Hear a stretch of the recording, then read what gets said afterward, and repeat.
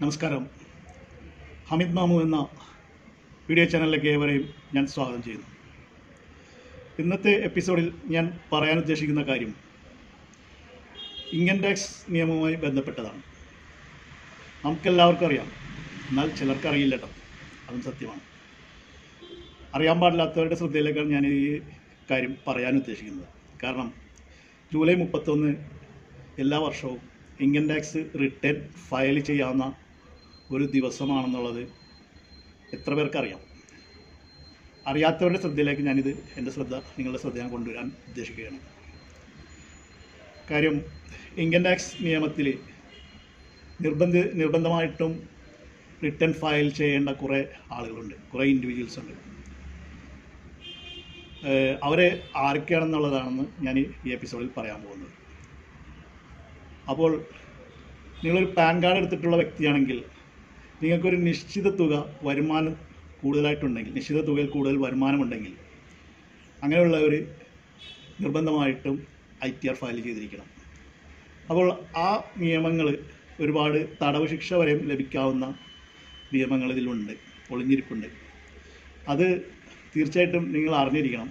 അല്ലെങ്കിൽ നിങ്ങളുടെ കഴുത്തിൽ ഇൻകം ടാക്സിന്റെ പിടി വീഴും അത് ഒഴിവാക്കാനാണ് ഞാൻ ഈ വീഡിയോ നിങ്ങളുടെ മുമ്പിൽ പ്രധാനമായിട്ടും കൊണ്ടുവരാൻ ഉദ്ദേശിക്കുന്നത് അപ്പോൾ എന്റെ വീഡിയോ നിങ്ങൾക്ക് ഇഷ്ടപ്പെടുകയാണെങ്കിൽ ലൈക്ക് ചെയ്യാനും ഷെയർ ചെയ്യാനും അതുപോലെ തന്നെ സബ്സ്ക്രൈബ് ബട്ടൺ ക്ലിക്ക് ചെയ്യാനും ബെൽ ബട്ടൺ ക്ലിക്ക് ചെയ്യുകയാണെങ്കിൽ എന്റെ വീഡിയോ അപ്പോൾ നിങ്ങൾക്ക് നിങ്ങളുടെ ടൈം ലൈനിൽ എത്തുന്നതാണ്.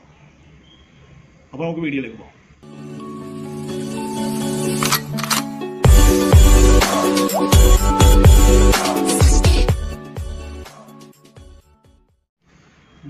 മുപ്പത്തൊന്ന് എല്ലാ വർഷവും ഇൻകം ടാക്സ് നിയമമനുസരിച്ച് റിട്ടേൺ ഫയൽ ചെയ്യേണ്ട ഒരു അവസാന ദിവസമാണ്. അങ്ങനെ റിട്ടേൺ ഫയൽ ചെയ്ത ചെയ്യാതിരുന്നാൽ നിങ്ങൾക്ക് നല്ലൊരു തുക പിഴയായിട്ട് അടയ്ക്കേണ്ടതായിട്ട് വരും. ഇതിൽ നമ്മൾ ഐ ടി ആർ ഫയൽ ചെയ്യുന്നെങ്കിൽ നമുക്ക് ലാ ഇൻകം ഇല്ലെങ്കിൽ പോലും നമുക്കൊരു ഐ ടി ആർ ഫയൽ ചെയ്യാം. അതിനൊരു നിയമമുണ്ട്.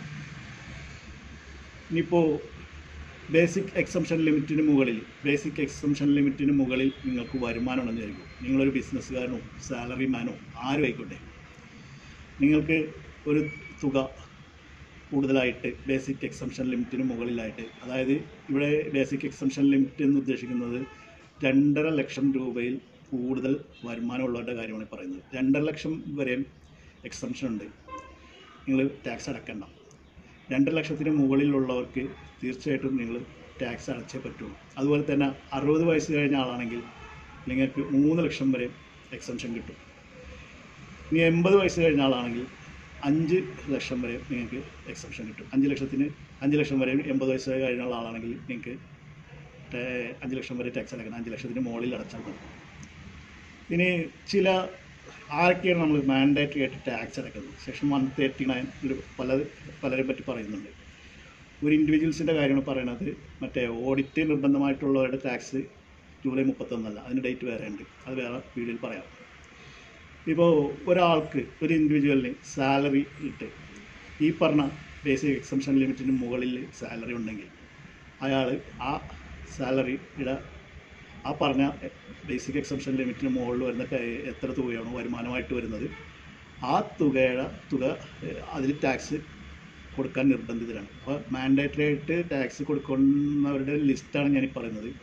അതുപോലെ തന്നെ നിങ്ങൾക്കൊരു പ്രോപ്പർട്ടിയിൽ നിന്ന് ഇൻകം ഫ്രം എന്തെങ്കിലും ഒരു ഇപ്പോൾ കൃഷിയാണെങ്കിൽ തെങ്ങ് ഉണ്ട് അല്ലെങ്കിൽ വയലുണ്ട് അല്ലെങ്കിൽ മറ്റ് ഒരു ഒരു ഭൂമിയിൽ ഭൂമിയിൽ നിന്ന് നിങ്ങൾക്ക് എന്തെങ്കിലുമൊക്കെ വരുമാനം ഉണ്ടെങ്കിൽ ആദായം ഉണ്ടെങ്കിൽ നിങ്ങൾ തീർച്ചയായിട്ടും ഐ ടി ആർ ഫയൽ ചെയ്യാൻ ബാധ്യസ്ഥരാണ്.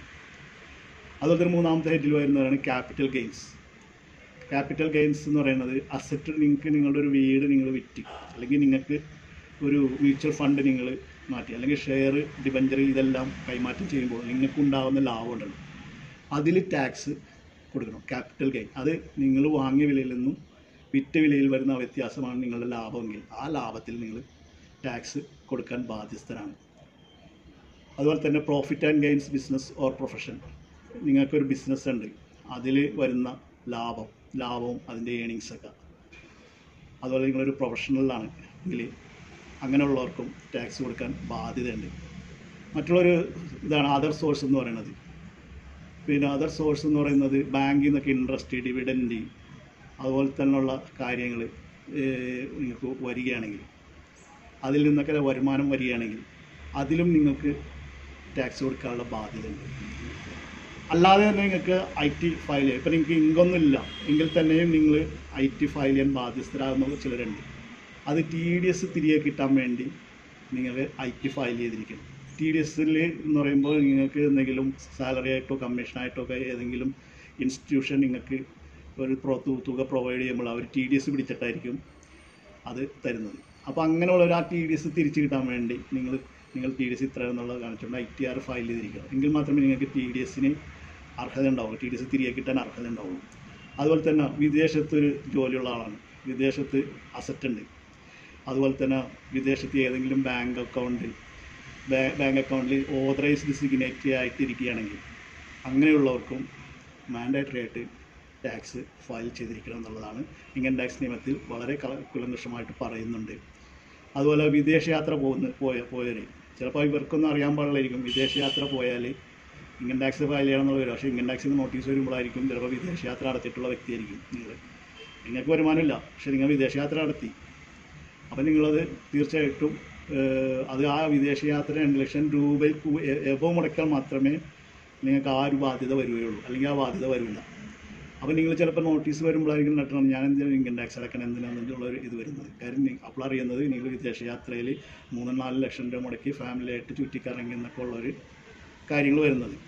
അങ്ങനെ വിദേശയാത്ര ആരാണ് നടത്തിയിട്ടുള്ളത്? അവർ ശരിക്കും പറഞ്ഞാൽ income tax file I T R file ചെയ്തിരിക്കണം എന്തായാലും. ഐ ടി ആർ ഫയൽ ചെയ്തില്ലെങ്കിൽ നിങ്ങൾക്ക് അത് ഗുരുതരമായ കുറ്റ കുറ്റമായിട്ട് മാറും. അതുപോലെ തന്നെ മറ്റൊരു കാര്യം നിങ്ങളുടെ ഇലക്ട്രിസിറ്റി ബില്ല് ഒരു ലക്ഷം ഈ ഒരു സാമ്പത്തിക വർഷത്തിൽ ഒരു ലക്ഷത്തിൽ കൂടുതലാണ്. അങ്ങനെയുള്ളവരും ഇൻകം ടാക്സ് റിട്ടേൺ നിർബന്ധമായിട്ടും ഫയൽ ചെയ്യണം. ഇത്രയും ആളുകൾ മാൻഡേറ്ററി ആയിട്ട് ഐ ടി ആർ ഫയൽ ചെയ്തിരിക്കുന്നുള്ളത് മസ്റ്റാണ് അപ്പോൾ അത് അറിഞ്ഞിരിക്കുക എന്നുള്ളതാണ് കാര്യം. നിങ്ങൾക്ക് ഓപ്ഷണലായിട്ട് വേണമെങ്കിൽ ഐ ടി ആർ ഫയൽ ചെയ്യാം. ഓപ്ഷണലായിട്ട് എന്ന് പറയുമ്പോൾ ഒരു ബിസിനസ് അല്ലെങ്കിൽ ഒരു ബിസിനസ്സിൽ അല്ലെങ്കിൽ ഒരു അസറ്റ് എന്തെങ്കിലും പ്രോപ്പർട്ടി വിറ്റപ്പോൾ എനിക്ക് നഷ്ടം വന്നു. അല്ലെങ്കിൽ ബിസിനസ്സിൽ നഷ്ടം വന്നു. ആ നഷ്ടം അടുത്ത വർഷം നിങ്ങൾക്ക് നിങ്ങളുടെ കണക്കിൽ കാണിച്ച് ക്യാരി ഫോർവേഡ് ചെയ്യാൻ താല്പര്യമുണ്ടെങ്കിൽ അങ്ങനെയുള്ളവരും ടാക്സ് ഇങ്ങനെ ഐ ടി ആർ ഫയൽ ചെയ്തിരിക്കണം. എങ്കിൽ മാത്രമേ അവർക്ക് ആ ഒരു ഇത് ലോസ് അടുത്ത വരുമാനത്തിൽ അടുത്ത ഇപ്പോൾ നെക്സ്റ്റ് ഇയർ നിങ്ങൾക്ക് വരുമാനം ഉണ്ടാവും. അപ്പോൾ അതിൽ ടാക്സ് ഈ വർഷത്തെ നഷ്ടം നിങ്ങൾക്ക് അതിൽ കാണിക്കാം. ഇത്ര കഴിഞ്ഞ വർഷത്തെ നഷ്ടമായിരുന്നു എന്റെ ബിസിനസ് അപ്പോൾ എനിക്ക് ഇത്ര ഇത് കുറച്ച് കിട്ടണം. എന്റെ ഈ വർഷം ലാഭമാണ്. ഈ വർഷത്തെ ലാഭത്തിൽ ഇങ്ങനെ ടാക്സ് കുറച്ച് കിട്ടാൻ വേണ്ടി എനിക്ക് നിങ്ങൾ എക്സെപ്റ്റ് ചെയ്ത് തന്നെ എന്ന് പറഞ്ഞു എനിക്ക് അവിടെ ഇത് അതിലും നിങ്ങൾക്ക് I T R is essential I T R file ചെയ്തിരിക്കണം. ഇത്രയും നേരം ഞാൻ പറഞ്ഞത് I T R income tax return file mandatory ആയിട്ട് ഫയൽ ചെയ്യുന്ന ഇൻഡിവിജ്വൽസിന്റെ കാര്യമാണ് ഞാൻ പറഞ്ഞത്. കാര്യം ഈ പറഞ്ഞ കാര്യങ്ങളിലൊക്കെ അമാന്തത കാണിക്കാതെ ജൂലൈ മുപ്പത്തൊന്നാം തീയതി തന്നെ ഐ ടി ആർ ഫയൽ ചെയ്യാൻ നിങ്ങൾ ശ്രമിക്കണം. ഇനിയിപ്പോൾ നമുക്ക് ഇൻ കേസ് ജൂലൈ മുപ്പത്തൊന്നിന് നമുക്ക് അടക്കാൻ പറ്റില്ല ഐ ടി ആർ ഫയൽ ചെയ്യാൻ പറ്റില്ല. നമ്മൾ മറന്നുപോയി അല്ലെങ്കിൽ വേറെ എന്തെങ്കിലും ഒരു സാഹചര്യം വന്നു വിദേശത്തോ മറ്റോ ആയിരുന്നു ഇങ്ങനെയൊക്കെ ഉള്ള ഇതല്ല അല്ലെങ്കിൽ ഹോസ്പിറ്റലിലായിരുന്നു. അങ്ങനെയൊക്കെ വരുമ്പോൾ ചിലപ്പോൾ ജൂലൈ മുപ്പത്തൊന്നിന് നമുക്ക് ഐ ടി ആർ ഫയൽ ചെയ്യാൻ പറ്റില്ല എന്നിരിക്കട്ടെ. എന്നാലും നിങ്ങൾ വിഷമിക്കേണ്ട ആവശ്യമില്ല. ഒരു ബിലേറ്റഡ് റിട്ടേൺ നിങ്ങൾക്ക് ഫയൽ ചെയ്യാം. അതിനുശേഷം. അപ്പോൾ അതിന് ചെറിയ തുക ഫൈനായിട്ട് വരും. അതിന് കുറച്ച് നിബന്ധനകളും കാര്യങ്ങളൊക്കെ ഉണ്ട്. അത് പിന്നെ പറയാം. പിന്നെ നിങ്ങൾ ഇപ്പോൾ ഇതിന്റെ കോൺസിക്വൻസ് നിങ്ങൾ കറക്റ്റ് സമയത്ത് ഫയൽ ചെയ്തില്ലെങ്കിൽ പിഴ കൊടുക്കണമെന്ന് ഞാൻ പറഞ്ഞല്ലോ. അപ്പോൾ അഞ്ച് ലക്ഷത്തിൽ താഴെയാണെങ്കിൽ ആയിരം രൂപ പിഴ കൊടുക്കണം. അപ്പോൾ അഞ്ച് ലക്ഷത്തിന് മേലെ ആണെങ്കിൽ അയ്യായിരം രൂപ ആണ് ഇൻകം ടാക്സ് നിയമപ്രകാരം നിങ്ങൾ പിഴ കൊടുക്കേണ്ടത്.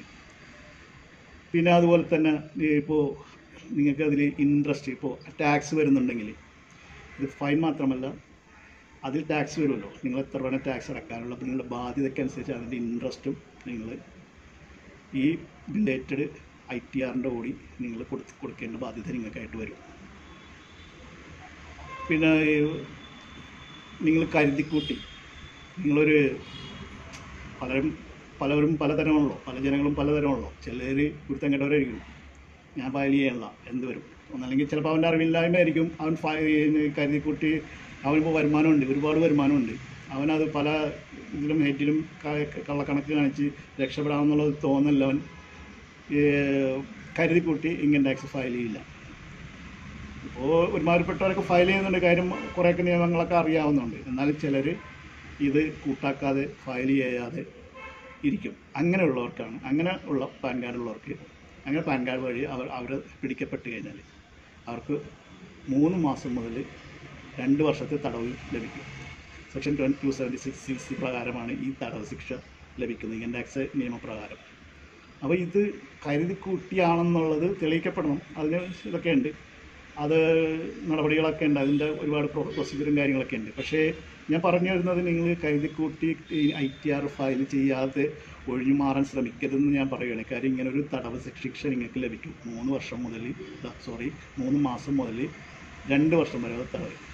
ഇരുന്നൂറ്റി എഴുപത്തി ഇനിയിപ്പോൾ നിങ്ങൾ ഇരുപത്തി നിങ്ങൾ ടാക്സ് ബാഡൻ അവർ അസസ് ചെയ്ത് ഇരുന്നൂറ്റി ഇരുപത്തഞ്ച് ലക്ഷത്തിന് മേലാണ് നിങ്ങൾ ടാക്സ് അടക്കാൻ നിങ്ങൾ ഒഴിഞ്ഞു മാറിയതെങ്കിൽ ഇരുപത്തഞ്ച് ലക്ഷത്തിന് മേലെ നിങ്ങൾക്ക് ടാക്സ് ബാഡൻ ഉണ്ടെങ്കിൽ നിങ്ങൾക്ക് ആറ് മാസം മുതൽ ഏഴ് വർഷം വരെ ഈ പറഞ്ഞ two seventy six C C section പ്രകാരം നിങ്ങൾ തടവ് ശിക്ഷ ലഭിക്കും. അപ്പോൾ നിർബന്ധമായിട്ടും ഈ പാൻ കാർഡ് എടുത്തവർ ഈ വക കാര്യങ്ങളെല്ലാം ശ്രദ്ധിക്കണം. ഈ ഇൻകം ടാക്സ് അടക്കണം ഐ ടി ആർ അടക്കണമെങ്കിൽ പാൻ കാർഡും നിർബന്ധമാണ്. പ്രത്യേകിച്ച് ഈ കാലഘട്ടത്തിൽ എല്ലാം ഓൺലൈനാണ്. ഓൺലൈൻ ആയതുകൊണ്ട് ഇത് ഇൻകം ടാക്സ് ഡിപ്പാർട്ട്മെന്റിന്റെ ഒരു വിങ് ഓരോരുത്തരെയും നിരീക്ഷിച്ചുകൊണ്ടിരിക്കുകയാണ്. നിങ്ങൾ വിദേശത്ത് പോകുന്നവരാണോ? നിങ്ങളുടെ ഒരു എന്തെങ്കിലും എന്തെങ്കിലും ട്രാൻസാക്ഷൻ നടത്തിയിട്ടുണ്ടോ? നിങ്ങൾ വീട് വിറ്റിട്ടുണ്ടോ? ചിലപ്പോൾ ആർക്കും വരുമാനം ഇല്ല- ഇല്ല ഉണ്ട് ഉണ്ടെന്ന് തന്നെ ഇല്ലെങ്കിലും ചിലർ ഈ അസറ്റൊക്കെ ട്രാൻസ്ഫർ ചെയ്യുമ്പോൾ ചിലപ്പോൾ ഇൻകം ടാക്സ് റിട്ടേൺ ഫയൽ ചെയ്യാതെ ചെയ്യാത്ത ആൾക്കാരായിരിക്കും അവരൊക്കെ. പക്ഷേ അവർക്ക് വീട് വിറ്റ വകയിൽ ഇൻകം ടാക്സ് ഡിപ്പാർട്ട്മെന്റിൽ നിന്ന് നോട്ടീസ് വരുമ്പോഴാണ് അവർ നെട്ടണത്. അപ്പോൾ അതുകൊണ്ട് വീടിന്റെ ട്രാൻസാക്ഷനൊക്കെ നടത്തി കഴിഞ്ഞാൽ അത് മുപ്പത് ലക്ഷത്തിന് മേലെയാണെങ്കിൽ ആ ട്രാൻസാക്ഷൻ ശരിക്കും പറഞ്ഞാൽ ഐ ടി ആർ ഫയലിങ്ങിന്റെ പരിധിയിൽ വരും. നിങ്ങൾ ടാക്സ് അടക്കാൻ ബാധ്യസ്ഥരാണ്. അപ്പോൾ ഈ വക കാര്യങ്ങൾ നിങ്ങൾ ശ്രദ്ധിച്ചിരിക്കുക. അതുപോലെ ഇന്ന് ഓൺലൈൻ നിങ്ങളുടെ പാൻ കാർഡ് ആധാറുമായിട്ട് ലിങ്ക്ഡ് ആണ്. അപ്പോൾ പ്രത്യേകിച്ച് എന്ത് നിങ്ങൾ അനങ്ങിയാലും ഈ പറഞ്ഞ മേലെ പറഞ്ഞ രീതിയിൽ എന്ത് ട്രാൻസാക്ഷൻ നടന്നാലും ഇന്ത്യൻ ടാക്സിന്റെ മോണിറ്ററിംഗ് ഉണ്ട്. ഇന്ത്യൻ ടാക്സ് മോണിറ്ററിംഗ് ചെയ്യുന്നുണ്ടെന്നുള്ള വിവരം നിങ്ങൾ അറിഞ്ഞിരിക്കണം. സാധാരണക്കാരായിരിക്കും മിക്കവാറും ഇങ്ങനെയുള്ള കെണിയിലൊക്കെ പോയി വീഴുന്നത്. അപ്പോൾ ഇത് നിങ്ങൾ അറിഞ്ഞ് നിങ്ങളത് ഐ ടി ആർ ഈ മാസം അതായത് ജൂലൈ മുപ്പത്തൊന്നാം തീയതി ഉള്ളിൽ അടക്കാൻ ഫയൽ ചെയ്യാൻ അതിന്റെ നിങ്ങളുടെ ആരെങ്കിലും കണക്ക് സെൽ ടാക്സ് കണക്ക് നോക്കുന്നവർ ആരെങ്കിലും പ്രാക്ടീഷണർമാർ ആരെങ്കിലും ഏൽപ്പിച്ച് ഏൽപ്പിച്ച് കഴിഞ്ഞാൽ അവരെ നിങ്ങൾക്ക് അത് അടക്കാൻ നിങ്ങളെ സഹായിക്കും. ആദ്യമായിട്ടൊക്കെ ചെയ്യണമെങ്കിൽ. നിങ്ങൾക്ക് ഇപ്പോഴത്തെ വരുമാനം ഇല്ലെങ്കിലും വേണമെങ്കിൽ ഐ ടി ആർ വെറുതെ ഒന്ന് ഫയൽ എഴുതുക. അടുത്ത മാസം വർഷം ചിലപ്പോൾ ഇത് വരുമാനം കൂടുന്ന വരുമാനം നിങ്ങൾക്ക് നഷ്ടം വരും ബേസിസിലൊക്കെ നഷ്ടം വരും അങ്ങനെയൊക്കെ വന്നു കഴിഞ്ഞാൽ നിങ്ങൾക്ക് വേണമെങ്കിലും വെറുതെ ഒരു ഐ ടി ആർ വേണമെങ്കിൽ ഫയൽ ചെയ്യാം. അതിന് ഇൻകം വേണമെന്നൊന്നുമില്ല. നിങ്ങളുടെ ഒരു വരവുകളൊക്കെ കണക്ക് വേണമെങ്കിലും ഐ ടി ആർ ഫയൽ ചെയ്തിടാം അതിൽ വരുമാന പരിധി നോക്കണമെന്നൊന്നുമില്ല. അപ്പോൾ ഒരു ബിസിനസ്സുകാരെ സംബന്ധിച്ചാണെങ്കിൽ നിങ്ങൾ മസ്റ്റായിട്ടും നിങ്ങളെ ട്രാൻസാക്ഷനൊക്കെ ശ്രദ്ധിക്കണം. അതിൽ ഈ പറഞ്ഞ രീതിയിൽ എക്സംഷൻ കാർഡിൽ കൂടുതൽ വരുന്നുണ്ടോ അതൊക്കെ അസസ് ചെയ്ത് കറക്റ്റ് ചെയ്ത് നിർത്തണം. എപ്പോൾ വേണമെങ്കിലും അവരുടെ പിടി വീഴാം. അപ്പോൾ അതൊക്കെ ചെറിയ ബിസിനസ്സുകാരനാണെങ്കിൽ പോലും നിങ്ങൾക്ക് ഈ പറഞ്ഞ രണ്ടര ലക്ഷത്തിന് മേലെ ഈ വരുമാനം കിട്ടുന്നവരാണെങ്കിൽ വളരെയധികം ശ്രദ്ധാപൂർവം നിങ്ങളത് കൈകാര്യം ചെയ്യണം. അപ്പോൾ ഇന്നത്തെ വീഡിയോ ഇഷ്ടമായെന്ന് വിചാരിക്കുന്നു. ഇനി എന്തെങ്കിലും നിയമപരമായിട്ട് സംശയങ്ങൾ ഉണ്ടെങ്കിൽ കമന്റിലൂടെ ചോദിക്കാം. ഒരുപാട് പേര് കമന്റ് ചെയ്യുന്നതുകൊണ്ട് വെച്ചാൽ പലർക്കും ചിലപ്പോൾ മറുപടി കൊടുക്കാൻ പറ്റില്ല എന്നിരിക്കും അതിനായിട്ട് ഞാൻ ഒരു മെമ്പർഷിപ്പ് താഴെ ഒരു ബട്ടൺ കാണില്ലേ അതിൽ ക്ലിക്ക് ചെയ്യുകയാണെങ്കിൽ നിങ്ങൾക്ക് ഒരു മെമ്പർഷിപ്പ് എടുക്കുന്ന ചെറിയ തുക തന്ന് മെമ്പർഷിപ്പ് എടുത്തു കഴിഞ്ഞാൽ നിങ്ങളുടെ സംശയങ്ങൾക്ക് ഞാൻ എന്റെ വാട്സപ്പ് നമ്പർ പ്രൊവൈഡ് ചെയ്യും. അപ്പോൾ അതിലൂടെ നിങ്ങൾക്ക് വോയിസ് മെസ്സേജ് ആയിട്ട് എന്നോട് ചോദിക്കാം. നിങ്ങളുടെ സംശയങ്ങൾ നിയമപരമായിട്ടുള്ള. ഈ നിയമം ഇൻകം ടാക്സ് നിയമം തന്നെയല്ല വേറെ ഏത് നിയമം? ഞാനിവിടെ ഹൈക്കോടതിയിൽ പ്രാക്ടീസ് ചെയ്യുന്ന ഒരു വക്കീലാണ്. അപ്പോൾ എനിക്ക് എന്ത് സംശയങ്ങൾ വന്നാലും നിങ്ങൾക്കത് ഞാൻ ഈ പറഞ്ഞ മെമ്പർഷിപ്പ് എടുത്താൽ അതിന് നിസ്സാര തുക വരുള്ളൂ. അപ്പോൾ അത് ശ്രദ്ധിച്ചാൽ നിങ്ങൾക്ക് നിങ്ങളുടെ സംശയ നിവാരണം ഞാൻ നടത്തി തരുന്നതാണ്. അപ്പോൾ വീഡിയോ ലൈക്ക് ചെയ്യാനും ഷെയർ ചെയ്യാനും സബ്സ്ക്രൈബ് ചെയ്യാനും അഭ്യർത്ഥിച്ചുകൊണ്ട് ഒരിക്കൽ കൂടി അഭ്യർത്ഥിച്ചുകൊണ്ട് ഞാൻ എന്റെ വീഡിയോ ഇവിടെ കൺക്ലൂഡ് ചെയ്യുകയാണ്. எல்லாருக்கும் நல்லது வரட்டு நான் ஆசம்சிக்கிறேன்